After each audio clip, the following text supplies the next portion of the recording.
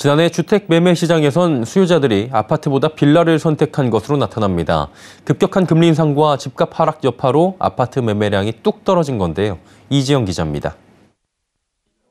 지난해 전국 주택 매매 시장에서 아파트가 차지하는 비중이 역대 최저를 기록했습니다. 부동산 정보 제공 업체 경제만랩이 한국부동산원의 주택 유형별 매매량을 분석한 결과 지난해 전국 주택 거래량 약 50만 8천 건 중 아파트 거래는 59%에 불과했습니다.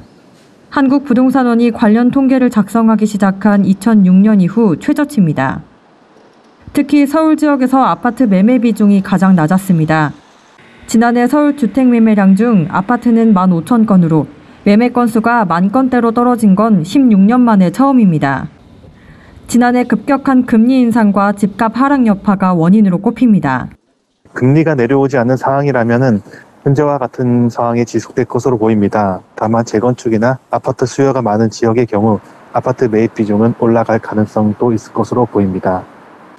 반면 빌라 매매 비중은 역대 최고치를 기록했습니다. 작년 전국 빌라 매매 거래량은 12만 9천 건으로 전체의 25.5%에 달해 2006년 이후 가장 높은 것으로 나타났습니다. 업계에선 고금리 상황에선 비교적 가격이 저렴한 빌라에 대한 매입 비중이 늘어날 것이라고 전망하고 있습니다. 서울경제TV 이지영입니다.